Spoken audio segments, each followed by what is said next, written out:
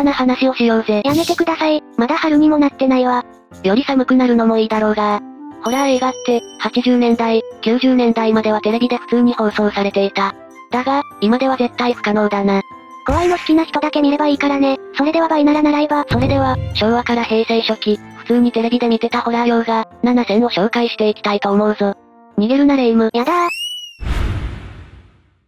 じゃあまず最初に紹介したいのは、13日の金曜日だ。最初から不吉じゃんこれ13日の金曜日。そうだ、ジェイソンの日でござい。みんな、外に出ちゃいけないからね。ジェイソンとは誰だ？誰だ？誰だ？それはガッチャマンではなく、答えはジェイソン・ボーヒーズのことだな。ジェイソンにそんな名前あったの？ちっちっち。誰？と思ったそこのレイム。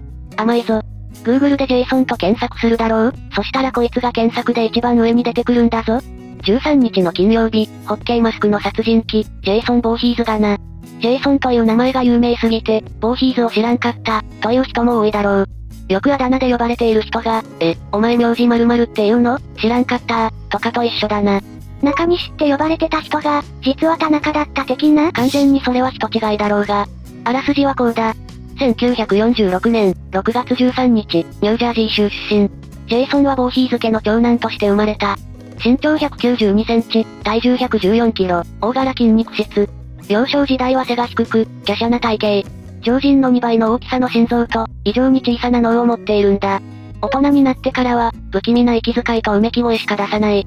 先天的な病により顔が奇形、これがジェイソンを殺人鬼へ変貌させた、最大の要因となるんだな。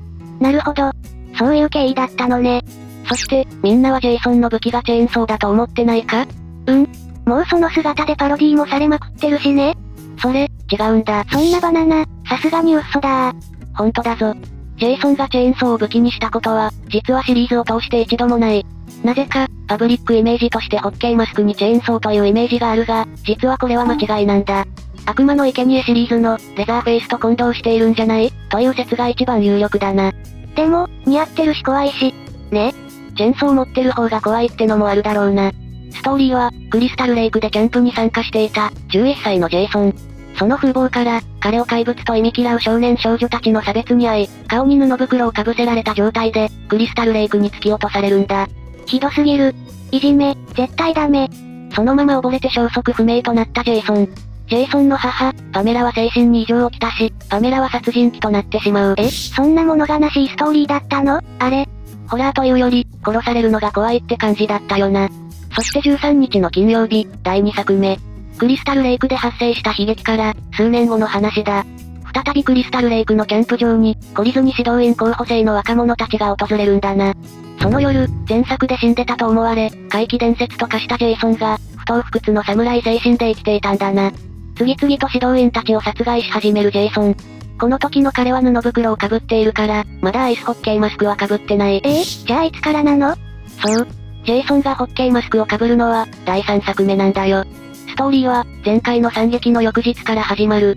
猟奇的殺人事件が全米で流れる中、ブレアーズタウンのクリスタルレイク付近にあるカフェを営む夫妻が何者かによって殺害されるんだ。もうクリスタルレイクなんて絶対に行きたくないよ。その翌日に別のキャンプ場へ数人の高校生が訪れる。彼らが向かったキャンプ場の悩みは、不当不屈の精神で生き延びていたジェイソンが、隠れ潜んでいたんだ。怖すぎるって、やっぱり13日の金曜日は外出禁止令だそう。13日の金曜日は、エルム街の悪夢の悪役、フレディ・クルーガーとのクロスオーバー作品を含め、10本の続編を生み出している。アメリカのホラーメディアフランチャイズだな。いやー、まさにホラー界のボスだな。フランチャイズ？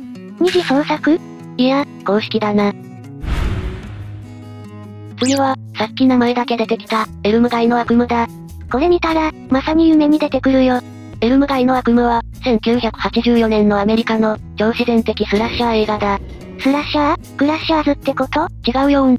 スラッシャー映画とは、ホラー映画のサブジャンルのうち、サイコパスの殺人鬼が、集団を付け狙い、刃物で殺害する内容のものを言うんだ。いや怖すぎるってただ怖いだけじゃなくて、命の危険もあるから怖い。メインは、フレディ・クルーガー。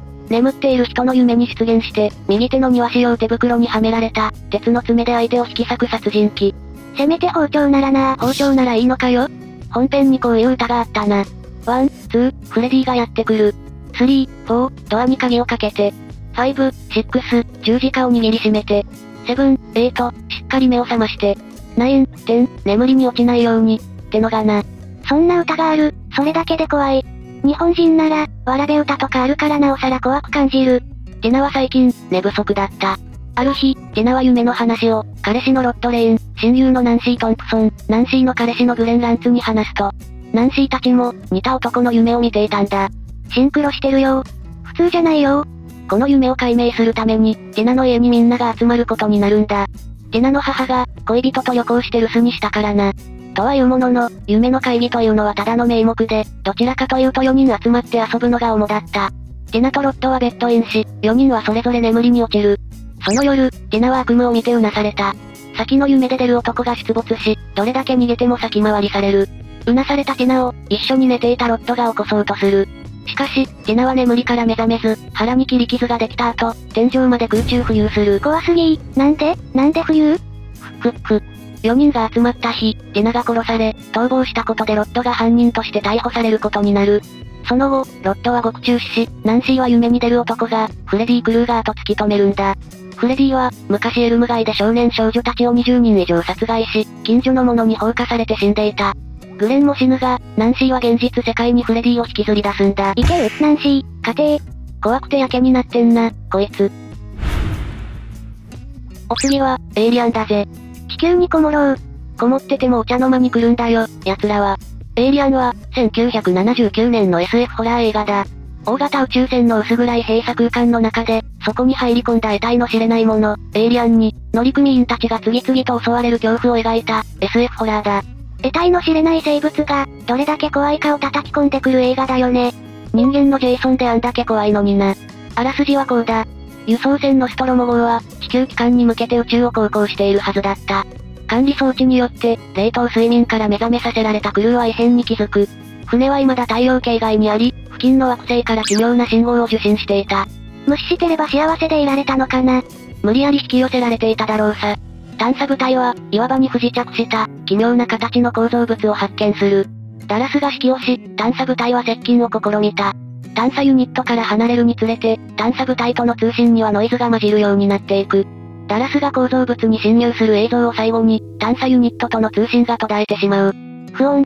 ダラスたちは侵入した構造物の中で、椅子に座ったまま化石化した、宇宙人の死骸を発見する。ダラスは死骸の腹部の骨が、内側から破裂したように折れていることに気づくんだな。見て、しまわれましたか。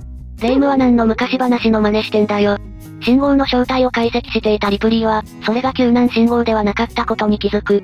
信号は、何かを警告するために発せられたものらしい。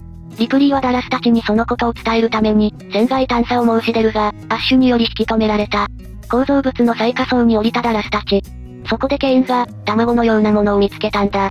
様子を確かめるために近づくと、卵の中から謎の生物の容体が現れ、ケインに襲いかかってきた。うらー、出たー。謎の異星人との戦い、普通に放送してた80年代をどう思う？変態だ。いや、ちょっと違くないか？お次は、バタリアンだぞ。おバタリアンお、近いぞ。バタリアンは、1985年から2006年まで、アメリカで制作されたホラー映画で、コメディ要素も持ち合わせているシリーズ作品だ。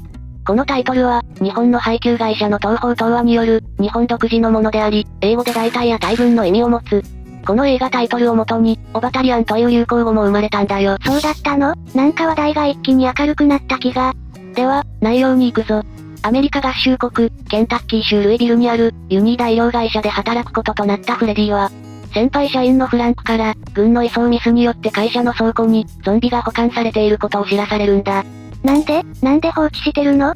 二人がそのゾンビの入った容器を叩いてみたところ、そこから突然ガスが吹き出す。なんでなんで容器叩くの？好奇心ってのは猫を殺すからな。このガスは、死体を蘇らせてゾンビ化しちゃうっていう物質、トライオキシン245だった。このおかげで、倉庫に保管されていた死体がゾンビとなっていき、フレディとフランクは、社長のバートを呼んで、三人がかりでどうにかゾンビを取り押さえるんだ。バートはゾンビを秘密裏に処理しようと、近所で葬儀屋を営む、友人のアーニーの元へゾンビを持ち込み、焼却することにする。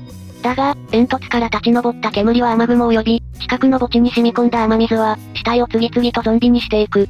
そして、ガスを浴びたフレディとフランクも、う、うわぁ、もうダメだ。人類滅亡、人間は愚か。ゾンビに染まっていったとさ。いやー、びっくりするしで心臓に悪い映画だ。ご飯時に見たらおかず吹くな。ちなみに、2作目であるバタリアン2も作られている。主人公は小学生の少年で、こちらはキャラクター性の強く、愛嬌のあるゾンビを多く登場させるなど、子供向けホラーコメディに仕上がっているな。ストーリーはほぼ1作目と同じなんだが、破滅的な結末だった1作目と違い、ハッピーエンドとなっているぞ。よかった。生きてる人はいた。次に紹介したいのは、ザ・フライだ。うわぁ、これやだ、トラウマだよ。ふふ。レイムはこれが苦手か。ザ・フライは、1986年のアメリカ映画だ。1958年に公開されたホラー映画、ハエ男の恐怖のリメイク作品になる。ハエが苦手になりました。あんな小さいのに影響力強すぎでしょ。もともと好きじゃねえだろ。この公開時のコピーは、Be Afraid, Be Very Afraid だ。い、意味は？怖がってください。とても、とても怖がってください、だな公式からのおぼし飯から怖いよ。とても、怖かったです。では、レイムの苦手な作品のあらすじに行くか。うまくいけば、ノーベル化学賞を受賞できたかもしれないと言われた、天才科学者、セス・ブランドルは、隣り合う二つのポットの片方に収めた物体を、細胞レベルで分解し、もう片方へ送った後、元の状態に再構築する、という物質転送機、テレポットを開発中。無機物の転送実験には成功していたセスだが、有機物では失敗が続いていたんだ。実験を続けていたある日、自分を取材した記者であり、後に恋人となるベロニカの助言を得たセスは、それをヒントに改良を重ねていき、ついに生物の転送に成功するんだ。だが、ベロニカと彼女の上司で、元恋人のステイシスとの関係に嫉妬し、泥酔したセスは、その勢いで、自らの体を実験台とした転送を行うんだな。これが運命の分かれ道だと知らずに。やだ、やだ、転送直後は何一つ異常はなく、むしろ転送前より強靭となったことで、成功を収めたかに見えたこの実験だったんだが、その後、セスの体に数々の異変が発生するんだ。なぜかと思い、その調査の結果、実験時に彼の入った転送ポットに、1匹のハエが紛れ込んでいて、再構築にあたって、遺伝子レベルでセスとハエが融合したことが判明した。絶望すぎる。異常な身体能力を得るとともに、肉体は変貌し、爪は剥がれ、髪が抜け、耳が剥がれ、妖怪液を吐くようになり、早世紀までも抜け落ち、日ごとに人間ではなくなっていくセス。彼の結末を、どうかお茶の間で。うわぁ、苦手な人は寝れないことを覚悟して。このレベルが普通に放送されてたのは、ファンキーな時代だよな次に行くか。グレムリンだ。レムリンだったら可愛いのに、具がついただけで可愛くなくなるよね。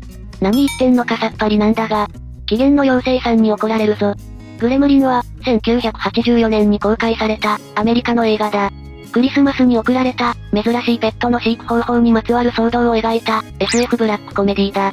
コメディなんか、約束破ったら殺すぞ的なのだった記憶があるんだけどあと、乳幼児見た見た目がなんとも夢に影響する。なんか混ざってないか、それ。あらすじはこうだ。発明家のランダルは、自身の発明品を売るためにある町を訪れていた。その町にある中国人が経営する店で、ランダルは不思議な生き物を見つけるんだ。その生き物の名前は、モグワイ。モグワイを一目で気に入ったランダルは、店主には内緒でモグワイを購入するんだ。モグワイを買うには、三つの約束を守らなければならなかった。やばそう。一つ目は、モグワイを水で濡らさないこと。二つ目は、モグワイに光を当てないこと。特に、日光に当てると死んでしまうからだ。吸血鬼じゃん。そして三つ目は、真夜中過ぎに絶対に食べ物を与えないことだ。赤ちゃんってこと？ランダルは、息子ビリーへのクリスマスプレゼントとして、モグワイを贈る。ビリーは、おとなしく可愛らしいモグワイに、ギズモという名前をつけて、大切に飼い始める。だが、そんなある日、誤ってモグワイに水をかけてしまうんだ。お、終わった。たたり、たたりじゃ三つの約束を守っていれば、モグワイは可愛いモグワイのままだった。人間にとってモグワイは、人間とは異なる生き物。当然、人間とは異なる性質を持っている。どんどん増えていくモグワイ。水をかけられて増えたモグワイは、人間を騙したりして変態して、グレムリンになるんだ。約束は守らないと、大変なことになるって教訓もある話だね。いや、今は普通に放送できないような物語だけどね、怖いから。最後に、人間にはモグワイを買うのはまだ早すぎる、そう言って、中国人店主はモグワイを連れて帰るのが、印象的だったな。え、そんなんだった？その中国人店主が一番怪しくない？ラストになったな。ホラー最後を飾るのは、チャイルドプレイだ。出たー、人形の目見れなくなったやつおままごとに多大な影響が出るな。チャイルドプレイは、1988年の、アメリカ合衆国のホラー映画だ。あらすじはこうだな。最先端テクノロジー企業、カスラン社が開発した最新おもちゃの、バディ人形は、AI による高度な音声認識や、画像認識機能を備えた、超ハイテク人形だ。引っ越したばかりで、友達がいない孤独な少年アンディは、誕生日に母親からそんなバディ人形をプレゼントされる。自ら、ジャッキーと名乗るその人形と、すぐに仲良くなっていくアンディ。しかし、思わぬ事態が発生してしまう。ここまでなら微笑ましいのに。プレゼントをもらい大喜びのアンディ。しかし、事件はその日の夜に起こってしまう。仕事で帰りの遅くなったカレンの代わりに、アンディの面倒を見ていた友人のマギーが、何者かに窓から落とされて、転落死してしまうんだ。え？ま、まあ偶然かもしれないしね。現場にやってきたマイク刑事は、現場に不自然なほどに小さい足跡を見つけるんだな。アンディは、チャッキーの足跡だと話すが、それは子供の言うことと、誰も信じてくれなかった。翌日、アンディが学校を抜け出しやってきたのは、レイの元仲間で、レイが殺される前に、レイを見捨てて逃げた、エディという男のところだった。そこでエディは、人形に扮したレイに襲われて、アジトを爆破されて殺されてしまう。そこにいたのは、グッドガイ人形を抱えたアンディだったんだ。ギャー警察から再び取り調べを受けたアンディは、チャッキーがやったと証言するが、もちろん信じてもらえずに、精神病院に送られて一時保護とされてしまう。カレンはその姿を見て、混乱してしまう。これな実は、グッドガイ人形ジャッキーの中には、凶悪殺人鬼、チャールズ・リーレイの魂が宿っていたんだ。ガビーン、いや設定怖すぎる、ただの人形のふりして貴様。人形に殺されていく恐怖、とくとご覧あれ。昭和から平成初期、普通にテレビで見てたホラー用画、7選を紹介してきたが、いかがだっただろうか。殺人鬼物が多いなって思ったよ。これを普通に放送してた昭和ってね。ファンキーだよな。ファンキーすぎるよ。今なら苦情殺到だよ。今の時間にやるもんじゃないとか。こういう映画を見せるのも、一つの教育なのさ。それではゆっくりマリサと、ゆっくりレイムでした。バイビー。